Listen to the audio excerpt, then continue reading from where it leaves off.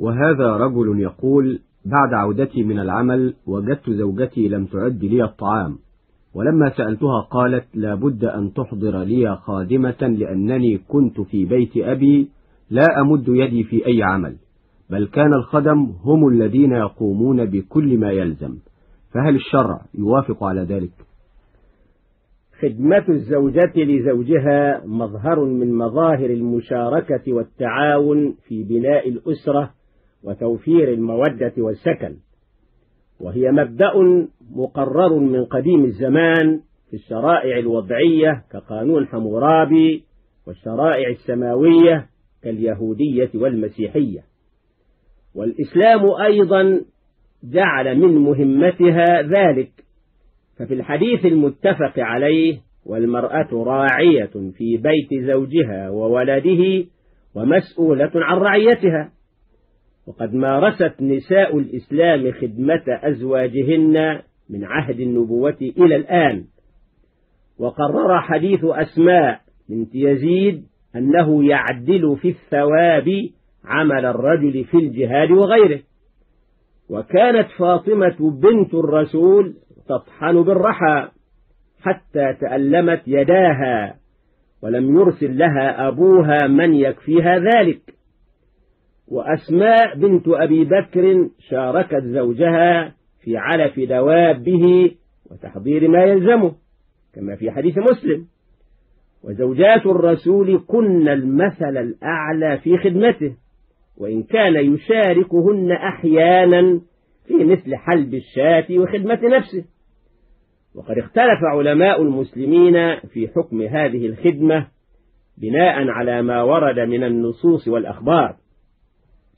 فقال بعضهم هي واجبة على المرأة. وقال آخرون ليست واجبة وإنما هي تطوع قضى به العرف دون إلزام من الشرع. والمراد بوجوب الخدمة وما كانت داخل البيت كالطبخ والغسل كما قال بعض العلماء. وقال الطبري إن خدمتها للبيت محلها إذا كان معروفا أن مثلها يلي ذلك بنفسه. وحكي عن مالك أنها لازمة ولو كانت ذات قدر وشرف. وهذا إذا كان الزوج معسرا. ومفهومه أن الموسر يلزمه إحضار خادم للقيام بأعمال المنزل. وقد لخص ابن تيمية في كتابه السياسة الشرعية اختلاف الفقهاء في ذلك ما بين الوجوب وعدمه ووجوب الخفيف منه. كما صدرت فتوى بأن خدمتها لزوجها ولنفسها واجبة إذا كان زوجها فقيرا. أو كان موسرا لكن لم تجر العادة بأن يكون لمثله ومثل زوجته خادم.